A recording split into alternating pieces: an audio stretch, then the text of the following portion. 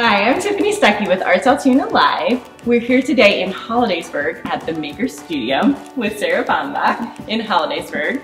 Um, and as always, don't forget to subscribe to Arts Altoona Live. So to begin, what is Maker Studio? Maker Studio is a community space where we offer arts and crafts classes to all ages. And craft classes like specifically in what vein? So with crafting, we kind of keep the medium wide open. So we do things with um, plants like kokedamas and wreath workshops. Now, what um, is a kokedama? Kokedama is actually Japanese for ball of moss. So you take a, um, a succulent or some sort of plant and you wrap it all up in sheet moss and it can hang in a window. Um, so we did a workshop with kokedamas recently. Um, and then some of the other crafts we do have to um, be done with paper and, um, you know, flowers made out of paper and all sorts of things. And so the age range for your workshops? Mm-hmm. So um, we have different age groups for the workshops. We have mini maker classes that are for five years old and younger. Which my son loved. He made flowers with Sarah. It was wonderful. Those are a lot of fun. sometimes they finish their craft. Sometimes it's more of a mom group, but they're they're fun. Um, then we have mixed age groups that are um, just open to anybody who wants to try out a certain craft. Um, and then we have adult only classes typically on Friday, and those are um, anything from cookie decorating to uh, hand embroidery, just a lot of different things. Now I know with with cookie decorating, uh, you work with other um, businesses in the area, correct? Correct, yeah. So I teach a lot of the classes myself. My background is education, but I also bring in guest instructors for things that um, they have specific talents in. So there's a local cookier who does sugar cookies with royal icing, and she comes in and teaches um, that class. Now, um, what is your background and how does that affect what you do here? Sure. So my background is elementary education, K to 6, and I worked in supplemental education for about 10 years. Um, so I love teaching and I'm definitely a lifelong learner. Um, and I've also been passionate about crafting and making things and I'll look at something and think, oh, I can do that. Right. So I combined my two passions and opened the studio. That's amazing. Now, why Hollidaysburg, Blair County? Are you from here? What, what landed you back here? Yeah, so I'm from Hollidaysburg. I graduated from um, the high school here. And it's funny because when I was younger, I couldn't appreciate maybe the things that were here. And I, I wanted to get out and travel and see new places. And then a couple years ago, my sister started having kids and getting married, and I needed to come home. Right. Um, and as an adult, I definitely have an appreciation of the area and what we have, and it's just so great to be home.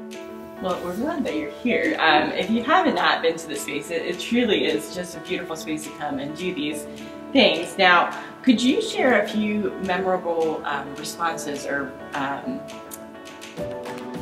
to your workshops? Sure, yeah. The one that sticks out most of all would be during a dot journaling workshop. And if you don't know, dot journaling is a personalized planner system where you have a blank journal and you actually tailor it to fit your own specific needs. So it's for scheduling purposes, but also um, like gratitude type collections are in there as well. And we were doing a specific layout um, that's called a year in pixels. And it's more so to take a look back at your days and how you felt on a specific day. And one of the participants in that class actually noticed through her year in pixels layout that um, her pain medication was actually wearing off sooner than it should be. And she took her dot journal to her doctor and showed him what she had been doing. And he was like, wow, you're right, it is. And they adjusted her medication. And uh, to me, it was just like, wow, it's more It's than just. yeah, exactly, exactly. Right. Now, um, you also do parties here, correct? Yes, yes. So we do birthday parties and also um, just different types of uh, family events or baby showers and bridal showers and things like that. But uh, we have birthday party packages, and the most popular one is our glow party. So I customize a canvas to the birthday kids' loves. One times it was sloths and cheeseburgers, which was so fun. it was hysterical. I was like, yes, this is exactly what I want to draw.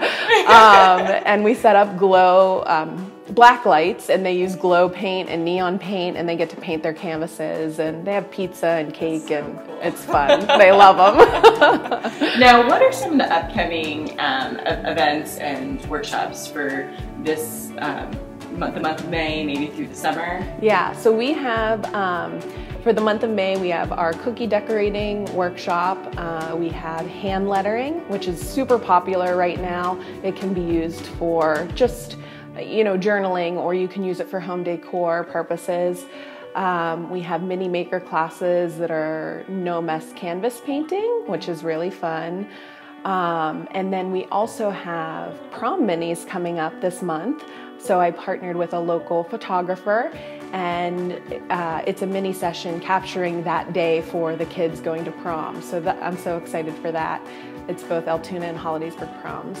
Um, and then summer, we actually do have summer camps that are okay. on the calendar, um, and again, a wide variety of different types from culinary creations to passport to the arts, just a lot of different things.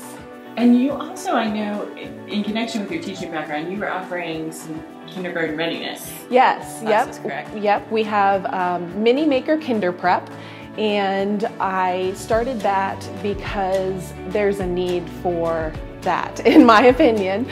Um, so we just look at letter recognition and forming letters in a fun way. It's more sensory learning and um, kind of combining arts with that. Wonderful. Now, um, as we wrap up, how can uh, how can someone find you to sign up for these wonderful things? Yeah. so our all of our classes are posted on the Maker Studio Facebook page. Um, it's facebook.com/slash Maker Studio 814 and all of our events are on that site. Um, also, we're on Instagram, uh, same thing, Maker Studio 814. Wonderful. Well, thank you so much. I'm so glad that you're here in Hollidaysburg doing this. It's such a wonderful, wonderful thing to offer for our families and for like a fun mom's day out. uh, so um, now, audience, it's your turn to share. I hope that you'll join in the discussion by leaving a comment below. Did this video inspire you some way? Do you have a story that's relevant to our subscriber community? If so, um, let us know in the comments.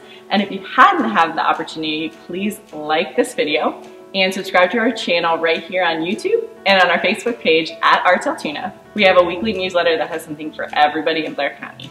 Um, and thank you audience for your part in ensuring that everybody knows how amazing the Blair County community is and about the people and organizations like Sarah Baumbach from Maker Studio that help to make it that way. We hope to see you next time at Arts Altoona Live.